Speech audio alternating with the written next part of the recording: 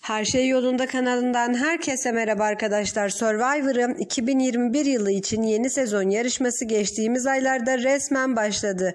Programın kadrosunda bulunan yarışmacı isimler ise Survivor izleyenleri tarafından yakından incelenmeye başlandı. Yarışmada bulunan isimlerin sosyal medya hesaplarını inceleyen kişiler ise büyük bir şok yaşadı. Yaşanılan şokla birlikte akıllara diskalifiye ihtimali geldi. Haberimizin ayrıntılarına geçmeden önce kanala abone olup bildirimleri açmayı unutmayın lütfen. Şimdi haberimizin ayrıntılarına geçelim. Meşalesi çoktan söndü. Diskalifiye olduğu açıklandı. Survivor yarışmasına katılmadan önce yapmış olduğu bir paylaşımda boktan demesi ise sosyal medyayı ayağa kaldırdı.